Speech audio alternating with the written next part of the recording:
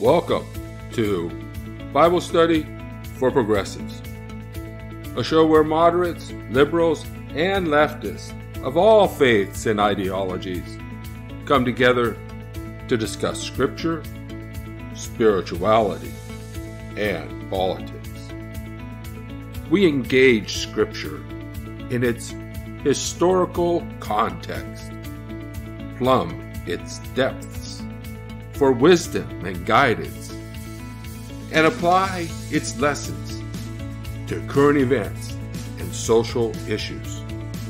Whether you're a liberal evangelical, a New Age spiritualist, a social justice activist, or a postmodern theologian, there's something in this show for you. Come, be energized in spirit and mind to understand the Word and what it means to be a spiritual person in today's world. Welcome to Bible study, parody, and subversion in Matthew's Gospel.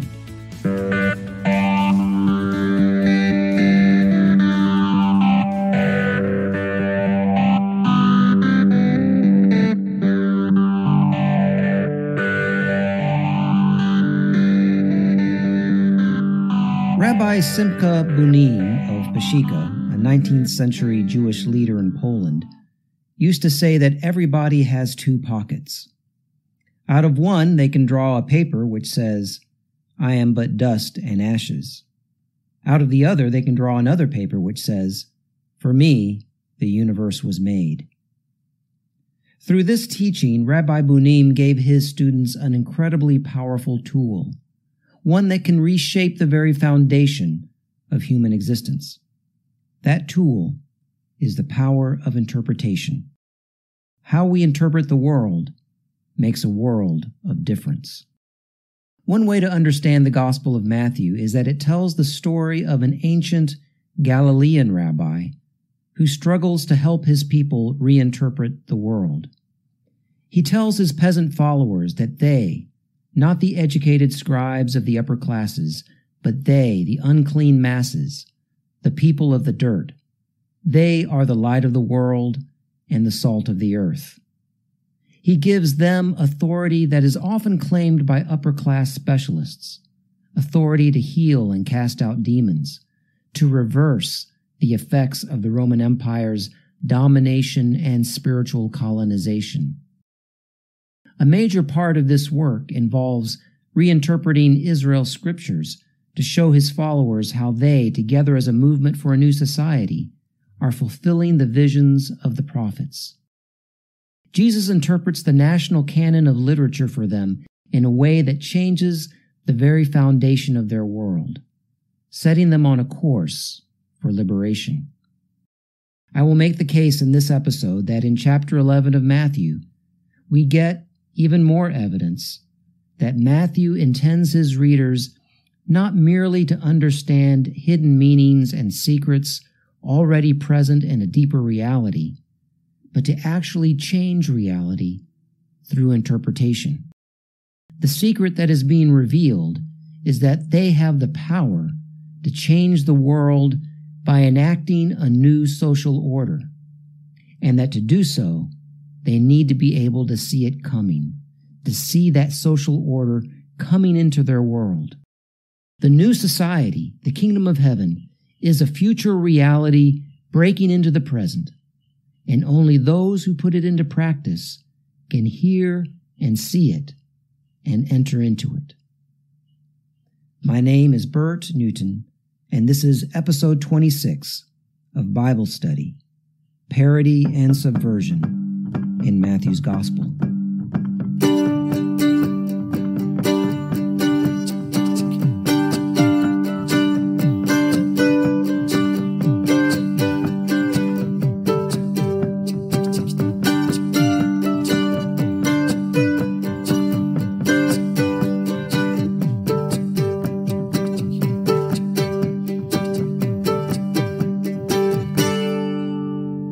Let's begin with the first three verses of chapter 11. Now, when Jesus had finished instructing his twelve disciples, he went on from there to teach and proclaim his message in their cities. When John heard in prison what the Messiah was doing, he sent word by his disciples and said to him, Are you the one who is to come? Or are we to wait for another? Now, when we Christians read this text, the way we tend to understand it is that John, after having proclaimed Jesus as the one, is now having doubts that Jesus really is the one. So this is merely about John's doubts. Well, it is that, but it is also much more than that. John's question here is not merely a question about one particular hope for a Messiah, but a question about whether Jesus, rather than the other Messiahs, is the one. You see, the first century was a time of many would be Jewish messiahs or liberators. There was Judas the Galilean, who led a revolt in Galilee when Jesus was a child. There was Theudas, roughly a contemporary of Jesus, who led a force of 400 to the Jordan River, claiming that he would part the river like Joshua had and would lead the people into the land as Joshua did to reconquer it. There was a guy referred to as the Egyptian, probably a Jew from the diaspora in Egypt, who led a force of 4,000, according to the book of Acts, or 30,000 according to Josephus, onto the Mount of Olives in an attempt to launch from there a liberation of Jerusalem. And then there were the leaders of the great Jewish revolt of 66, John of Gischala, Simon bar Giora, and Menahem, who all vied for the title of Messiah during that uprising. The author of Matthew would have known of all of them, and he references all of these uprisings in his gospel. And Messiah mania was still not over at the time of the writing of the Gospel of Matthew. In the year 132, 40 or 50 years after the writing of Matthew, another would be Messiah, Simon Bar Kokhba, or Simon son of a star, would attempt yet another liberation. All of these uprisings attempted a military liberation. And when any of these messiahs actually obtained power, and some of them did, they all ruled by use of brutal force, eliminating all potential threats, even former close friends, and fighting with each other. And all of them were defeated by Rome. So a lot rides on this question. Is the Messiah a warrior who will set up another kingdom and rule by force? Or is the Messiah someone like Jesus? What will the Messiah be like? That is a central theme in this story. And along with that question is one that goes with it. What is God like? Is God a harsh king who rules by force? Does God crush his enemies? Whatever God's Messiah is like says a lot about what God is like. So John's question seems simple, but on it rides the very image of God. The image that, according to Genesis 1, is imprinted in the hearts of humankind. Is he the one, or should we expect another? John has his doubts, perhaps because Jesus is not smiting his enemies. He hasn't raised an army. John hadn't raised an army either, but now that he's in jail awaiting his execution, maybe he's thinking that Jesus should raise an army, maybe one that could come to his rescue. So John asks, Is he the one? Or should we expect another? John isn't sure anymore. John was a radical visionary, but in jail, he seems to be losing his vision. He doesn't see so clearly anymore. The future looks blurry now. And so Jesus answers John's question. Let's begin with just verse 4. Jesus answered, Go and tell John what you hear and see. Jesus tells them to report what they hear and see. What people hear and see constitutes a major theme in this story because not everyone hears and sees the same thing. People can look at the same events and see different things. In other words, hearing and seeing is all about interpretation, and interpretation can change the most foundational elements of our world. So Jesus continues in verses 5 to 6, describing what they have seen and heard. Jesus says, The blind receive their sight, the lame walk, the lepers are cleansed, the deaf hear, the dead are raised, and the poor have good news brought to them. And blessed is anyone who takes no offense at me. Now, to the modern reader, it may seem that Jesus is pointing to his miracles of healing as proof that he is the Messiah. But Jesus is doing much more than that. Jesus is interpreting the work of his movement, and he is interpreting it in a very specific way to help John see and hear clearly again. Jesus here uses imagery familiar to the original audience that signaled liberation from oppression, especially foreign oppression. The imagery that Jesus uses is taken from Isaiah. It is all imagery that describes, in its original context in Isaiah, the liberation of Israel from a foreign oppressor. For example, describing the glorious days when the exiles returned from Babylon, Isaiah sings, Then the eyes of the blind shall be opened, and the ears of the deaf unstopped. Then the lame shall leap like a deer, and the tongue of the speechless sing for joy. Isaiah 35, 5 to 6. This healing language is about liberation from a foreign empire. John sits in prison awaiting his execution by a king appointed by Rome. He wants to know if the liberation of his people has finally arrived. Jesus sends a message back that his campaign of healing fulfills the visions of the prophets. The liberation has begun.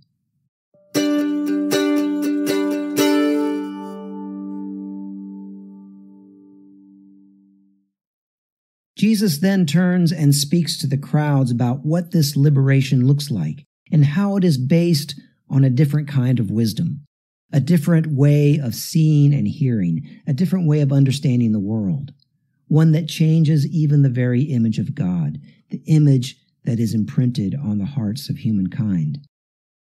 Let's read the next two verses, verses 7 and 8. As they went away, Jesus began to speak to the crowds about John. What did you go out in the wilderness to look at? A reed shaken by the wind? What then did you go out to see? Someone dressed in soft robes? Look, those who wear soft robes are in royal palaces. A reed shaken by the wind, soft robes, and royal palaces. These are not just idle images. Jesus is comparing John to Herod. Herod, who has imprisoned John. A reed was the symbol for Herod, a symbol that was printed on coins that he circulated in Galilee. But here Jesus talks of a reed blown about by the wind. We will see later that Matthew portrays Herod as weak, soft, and corrupt. So the soft robes and royal palaces also contrast Herod's weakness, wealth, and corruption with John, who, as we saw in chapter 3, wore clothing of camel's hair, with a leather belt around his waist, and his food was locusts and wild honey. Herod may have imprisoned John, and John may be having his doubts, but Jesus rhetorically interprets John to be the greater and incorruptible one. Let's continue with the next two verses, 9 and 10. What then did you go out to see? A prophet? Yes, I tell you, and more than a prophet. This is the one about whom it is written, See, I am sending my messenger ahead of you, who will prepare your way before you. Jesus here quotes Exodus 23:20, a passage about the Exodus liberation from the Egyptian empire. Exodus 23:20 reads, "See, I am sending out my messenger ahead of you." Jesus reinterprets the text and identifies John as the messenger. For John is the one who came before him and started the current liberation that Jesus is now leading, a new exodus from oppression under the Roman Empire. The original text from Exodus goes on to talk about the military conquest of Canaan. The current campaign by John and Jesus is, in contrast, a nonviolent campaign. But it will, like the original conquest of the land, culminate in Jerusalem. So the whole idea of conquest is reinterpreted. Jesus continues in verses 11 to 15. Truly I tell you, among those born of women, no one has arisen greater than John the Baptist. Yet the least in the kingdom of heaven is greater than he. From the days of John the Baptist until now, the kingdom of heaven has suffered violence, and violent men attack it. For all the prophets and the law prophesied until John came, and if you are willing to accept it, he is the Elijah who is to come. Let anyone with ears listen. These verses are full of reinterpretation. First of all, Jesus reinterprets John for the crowds. He is not the defeated man losing his faith in prison, but rather the greatest of the prophets. But then Jesus quickly reminds his audience that in the new society, the kingdom of heaven, the greatest person is the least, and the least is the greatest. Jesus then speaks of the movement suffering violence. From the days of John, the kingdom of heaven has suffered violence. Now, if the kingdom of heaven is just an otherworldly reality or something only in the future, then it could not suffer violence. But the kingdom of heaven is the new society already present in those who put it into practice. It is a new social order already breaking into this world, a future reality breaking into the present. And it suffers from violent acts against it, as did the prophets who came before it. The movement for a new society is not a military campaign that inflicts violence, as the campaigns of Joshua and David, both of whom boasted of the violence that they inflicted. Rather, this campaign absorbs the violence and nevertheless overcomes it.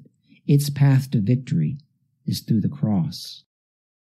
Then Jesus says, If you are willing to accept it, he is the Elijah who is to come. Let anyone with ears listen. If you can accept it. He is the Elijah who is to come. Let anyone with ears listen.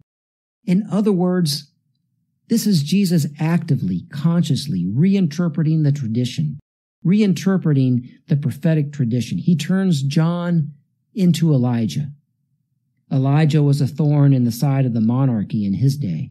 In the same way, John has been a thorn in the side of the monarchy, the Herodian monarchy. John has, in a sense, taken up the role of Elijah.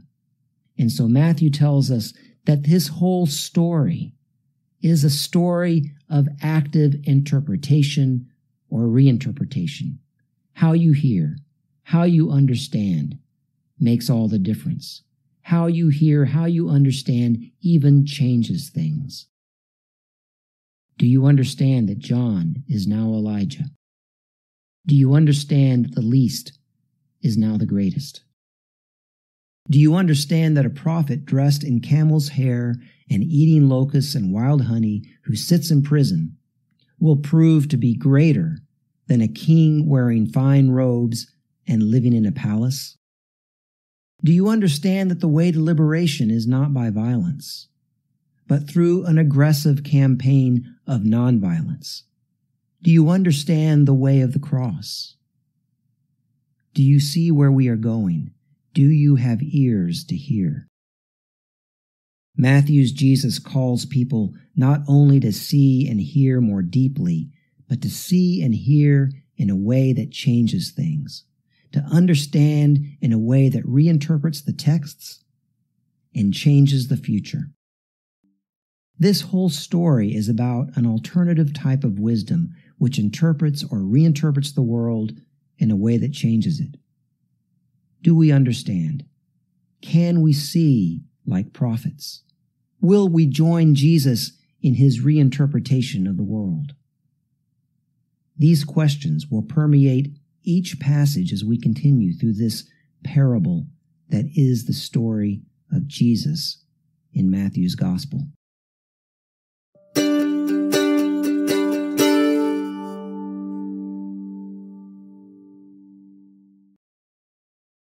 The story in Matthew is revealed in chapter 11 to be one of active reinterpretation of Israel's texts, as well as reinterpretation of the whole world.